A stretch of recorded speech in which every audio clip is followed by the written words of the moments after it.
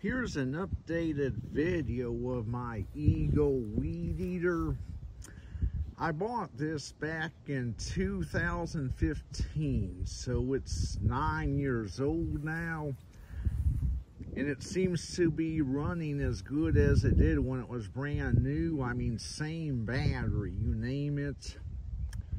I have, you know, uh, other videos on my YouTube. I mean, more I mean, diving into like, you know, more details. And I just thought I would do a quick video for my TikTok. Uh, has like a 14 inch cutting swath and uses 0.95 string. And I have a 4 amp hour battery for it. And with my big place, I mean, all them uh, small hills and miniature ravines around my place, I can ordinarily I'll, I can do my whole place all on just one battery swap out. But